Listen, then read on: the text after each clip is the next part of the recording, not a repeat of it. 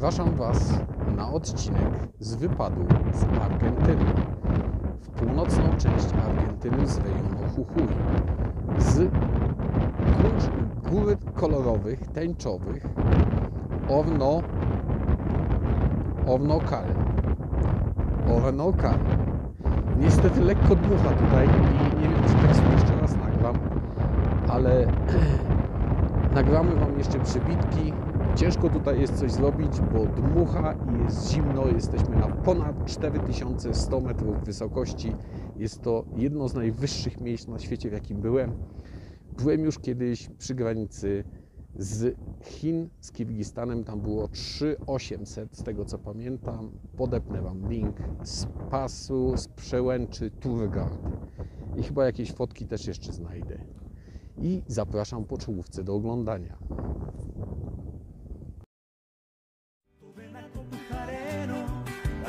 Pellacé, Arapeguáramo, Guayxaomo, Sairuña, Sainu. Arapeguáramo, Guayxaomo, Sairuña, Sainu. She Paraguaira, Sahara, Mekori, Shele, Mamobé, She Paraguaira.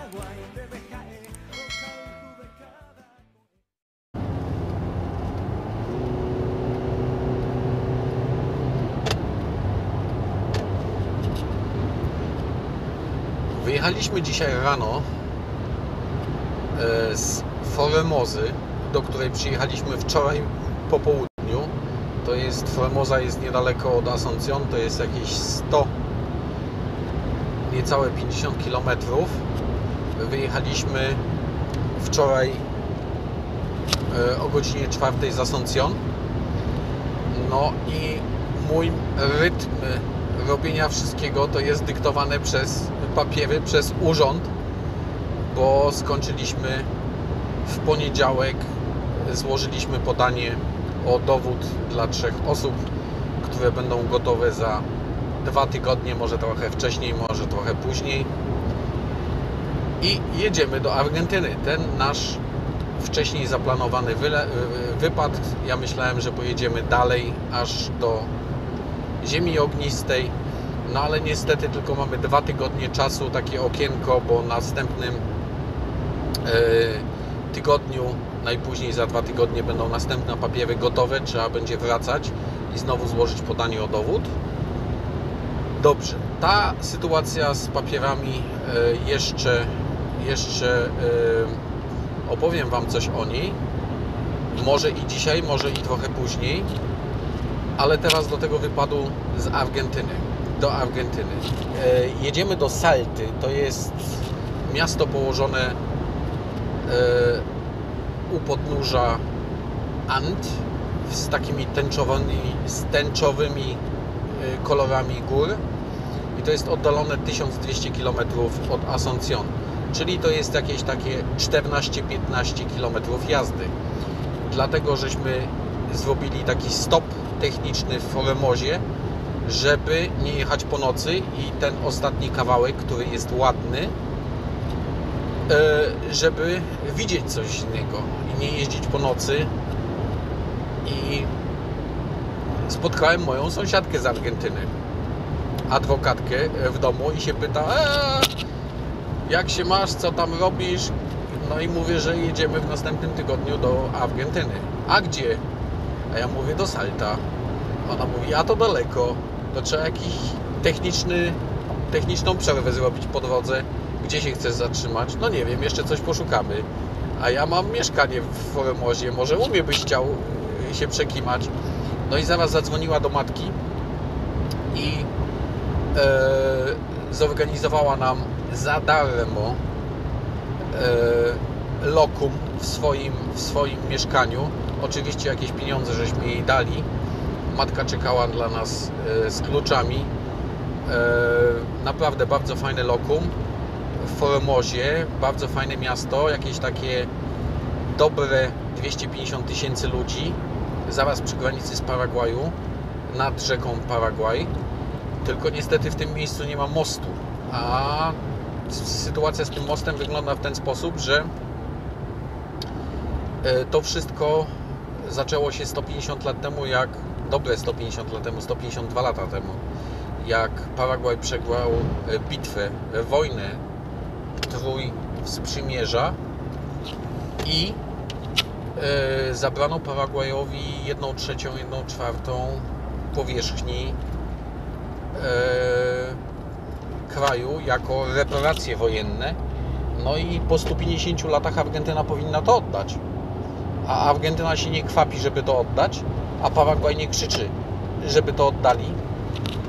Dlatego, że sytuacja ekonomiczna teraz w Argentynie jest straszna. Tak jak ja Wam już mówiłem, że oficjalny przelicznik y, dolara jest 150 peso za dolara, a czarnorynkowy się zaczyna od 260, 70, nawet dochodzi do 300. I y, też jest niesamowita kryminalność w y, Argentynie. Wczoraj w telewizji pokazywali e, napad na e, sklep taki mały z warzywami. Obrobili sklep o wartości 200 dolarów. No i jeszcze chłopa tam pobili. Także to wszystko jest takie jak za komuny. To nie jest tak, że ludzie są źli czy są dobrzy, tylko po prostu jeżeli jest bieda, no to niestety trzeba coś robić, żeby żyć. A jak nie ma możliwości pracy, nie ma możliwości robienia jakiegoś biznesu legalnego, bo rząd chce za dużo podatków i stawia ludziom kłody pod nogi, no to właśnie dzieją się takie rzeczy, jak się teraz dzieją. Gdzieś kiedyś, ale to też już jest chyba z rok temu, widziałem jakiś taki film na YouTubie, że ktoś się włamał do domu i złodzieja pobili z sąsiadami i policja przyjechała ratować złodzieja, bo go zabili.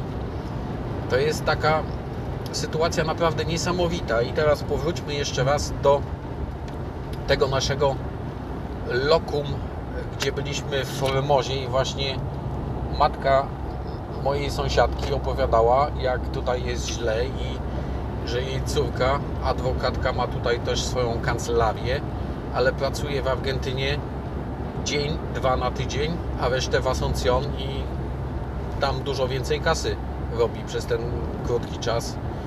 I to jest naprawdę niesamowite.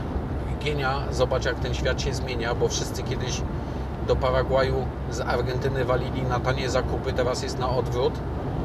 I ludzie też walą z Argentyny do Paragwaju, żeby popracować. To jest naprawdę niesamowite, jak ten, ten kraj się zmienił. E, Kiedyś, chyba w latach 80., czytałem taki artykuł, że właśnie e, produkcja wina w Argentynie z samego wina przekraczała PKB całego Paragwaju. Był jeden czy dwa lata takie, które naprawdę była bardzo ładna pogoda i dobre wino zrobili, wyprodukowali i em, PKB Argentyny przekraczał PK- PKB Paragwaju tylko i wyłącznie z wina. To jest niesamowite, jak ten kraj upadł, jak ten kraj się zmienił przez 20 lat. Ale jeżeli chodzi o krajobraz, to jest odjazd kompletny, bo jedziemy taką drogą, która jest, znaczy, żeby pojechać z Asuncjon, można pojechać na dwa różne sposoby. Taka droga lekko krótsza, lekko dłuższa, chyba 30 km różnicy. I jedziemy przez jedno takie wielkie nic. Yy, tylko bydło się pasie, można pojechać przez 100 km i praktycznie tam nic nie ma. Też trzeba uważać, żeby zatankować samochód tak w miarę yy, jak są, bez, jak są stacje paliw, żeby nie przedawkować z tym, z tym, z tym tankowaniem, żeby nie zostać yy, bez benzyny. Yy, Na to trzeba uważać, ale ten krajobraz jest naprawdę niesamowity i są takie e, e, miejsca, gdzie bydło się wypasa, to się ciągnie 10-20 km. Jedno wielkie e, pastwisko bydła. I oczywiście te mięso tutaj e, smakuje inaczej, pachnie inaczej, ma inny kolor. Szczęśliwe bydło bez stodoły, tylko soczystą trawkę e, cały dzień je. To jest, to jest też naprawdę niesamowite tutaj w Argentynie. E, ja Wam jeszcze włożę tutaj jakieś przybitki i spróbujemy zmontować dzisiaj jeszcze jakiś film z końcówki tej trasy z góry.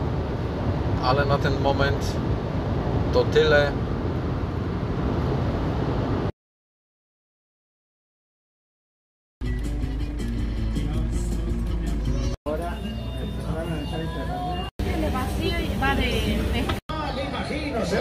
Se le va...